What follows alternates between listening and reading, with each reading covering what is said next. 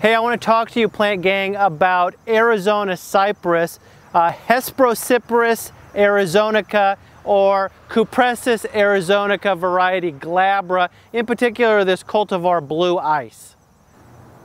So we're here with that Arizona cypress, a little bit, just a different plant, a smaller one right now, where I can really show it to you closely. Uh, great blue color uh, that is really all up and down this plant. Uh, in particular at the tips, it has very, very light glaucous uh, foliage. Uh, now to identify too, you can get in here and smell it because it has a fresh kind of almost like a juniper type smell to it. Uh, the, the cones are starting to form even on this smaller plant. Blue ice known to be a little bit more of a narrow cultivar uh, compared to the species, but it can get uh, quite large. and so you want to make sure you plant it in an area where it has plenty of room to grow. Uh, so blue ice, uh, again, is known to be a little bit more of a narrow cultivar, and you'll often, often see it listed as 15 foot high and just 8 foot wide.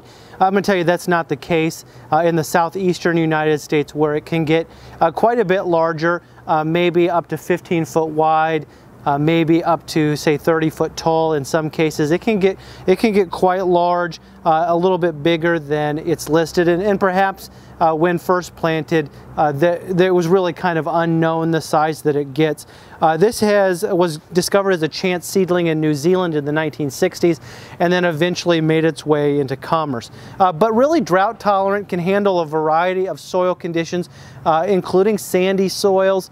Uh, but really, planted in a tough situation, uh, it can really thrive. Here's a landscape tip. A conical conifer that has smooth, flaking reddish bark and aromatic blue-gray needles.